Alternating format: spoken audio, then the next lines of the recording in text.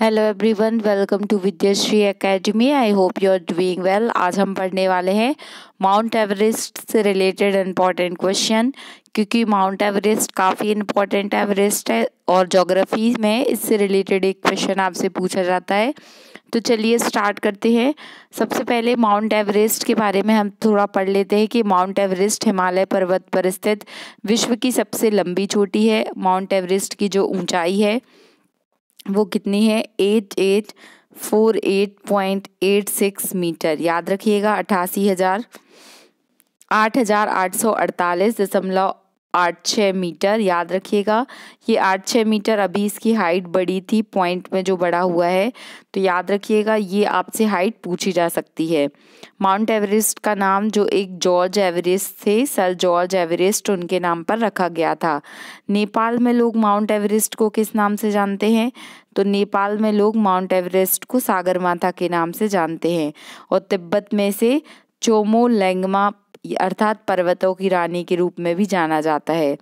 वैज्ञानिकों ने अपने शोध में पाया था कि माउंट एवरेस्ट की जो हाइट है, वो प्रतिवर्ष दो सेंटीमीटर बढ़ रही है। अब कुछ इंपॉर्टेंट क्वेश्चन है, उसे पढ़ लेते हैं। सबसे पहला क्वेश्चन यही है कि हिमालय की सबसे ऊँची चोटी कौन सी है?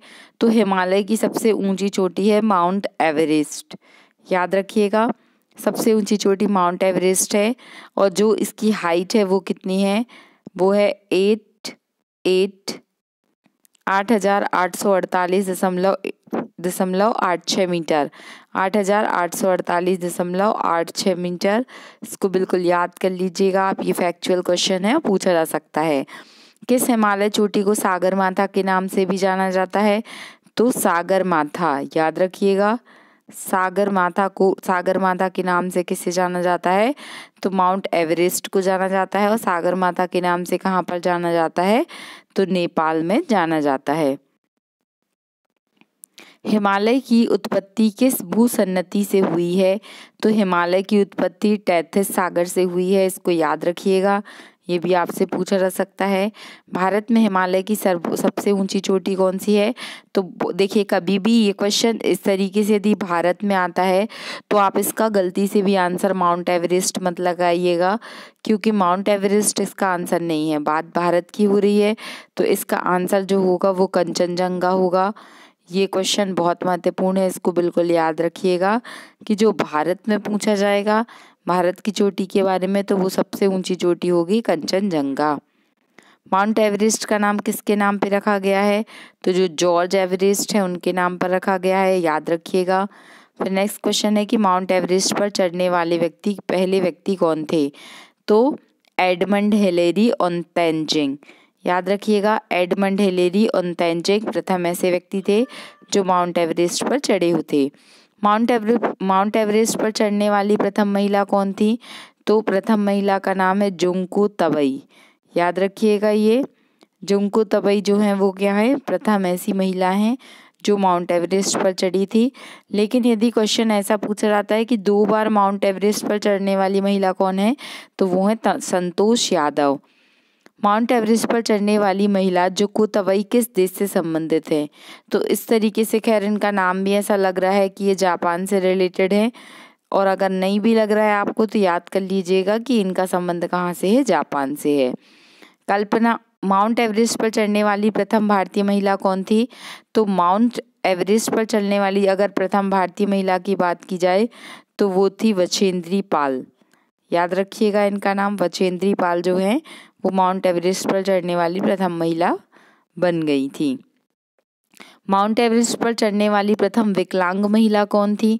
तो अरुणिमा सिन्हा। एक ग्रेट मोटिवेशन है अरुणिमा सिन्हा के बारे में यदि आपने नहीं पढ़ा है तो आप इनकी स्टोरी ज़रूर पढ़िएगा। बहुत ही मोटिवेशनल स्टोरी है और कहा जाता है ना कि जिसके मन में एक सच्ची दृढ़ इच्छा शक्ति होती है तो वो फिर कुछ भी कर सकता है। उसी का एक एग्ज़ाम्पल है अरुणिमा सिन्हा। अरुणिमा सिन्हा का नाम सुन के मुझे दुलाइन याद आ जाती हैं कि ना संघर्ष, न तकलीफ़ तो खाक मज़ा है जीने में बड़े बड़े तूफ़ान थक जाते हैं जब आग लगी हो सीने में। किस तरीके से इनका पैर टूट गया, लेकिन फिर भी उस जज्बे को इन्होंने थमने नहीं दिया, जो जज्बा लेकर इन्होंने माउंट एवरेस्ट पर चढ़ने का लक्ष्य एक सपना देखा था। लगातार दो बार माउंट एवरेस्ट पर चढ़ने वाली महिला कौन है?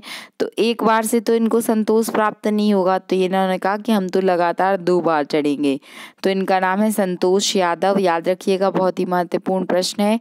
माउंट एवरेस्ट को तिब्बत में किस नाम से जाना जाता है? तो माउंट एवरेस्ट को तिब्बत में चोमोलंगमा। या इसी को कहा जाता है पहाड़ों की रानी। याद रखिएगा, पहाड़ों की रानी के नाम से जाना जाता है किसे? माउंट एवरेस्ट को। माउंट एवरेस्ट को नेपाल में किस नाम से जाना जाता है? तो ये हम पहले पढ़ चुके हैं कि सागर माथा के नाम से जाना जाता है।